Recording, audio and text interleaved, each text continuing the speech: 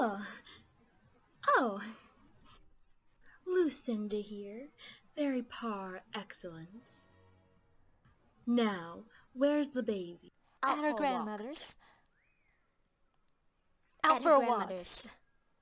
She's walking at her grandmother's. Well, either way, as you can see, she's not here. Oh, look. She's back. What shall we give this beautiful little child today?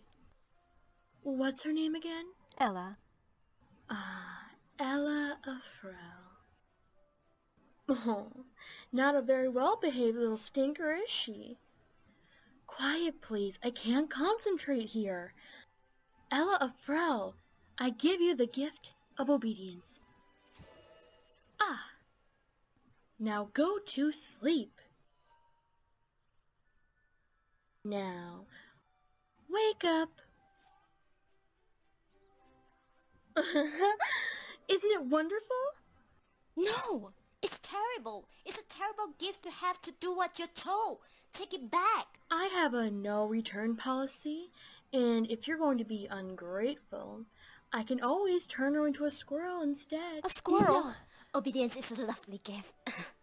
Besides, you should thank me.